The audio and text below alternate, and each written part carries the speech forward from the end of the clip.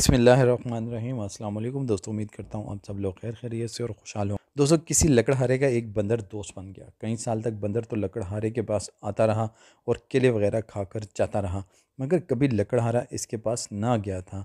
एक रोज़ बंदर ने इसे अपने यहाँ आने की दावत दी तो वो भी खुशी से राज़ी हो गया। चंद रोज़ बाद लकड़हारा बंदर के पास पहुँच गया। बंदर ने लकड़हारे को मज़े मज़े के बहुत से फल तोड़ कर दिए और लकड़हारा जीप भर कर खाने लगा। जब वो दोनों ज़मीन पर बैठे फर खा रहे थे तो अचानक वहाँ शेर आ गया। शेर लकड़हारे को देखते ही इस पर हमला आवर हुआ। लकड़हारा तेज़ी से भागा और बंदर भी इसकी पैरवी करते हुए डर के मारे इसके पीछे भागा। शेर इनके पीछे भाग रहा था।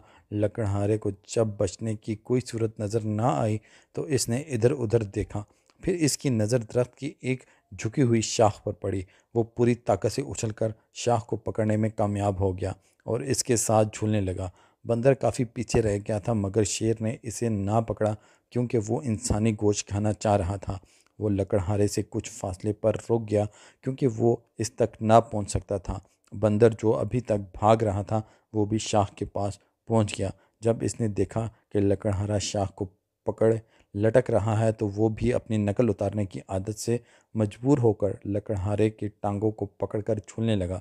वज़न ज़्यादा होने से शाख बहुत ज़्यादा झुक गई। लकड़हारे ने बंदर को टांगे छोड़ने के लिए कहा, मगर मगर बंदर ना माना। शेर के लिए ये अच्छा मौका था। इसने एक छलांग लगाई और लकड़हारे की टांगों को मुँह में दबोच लिया।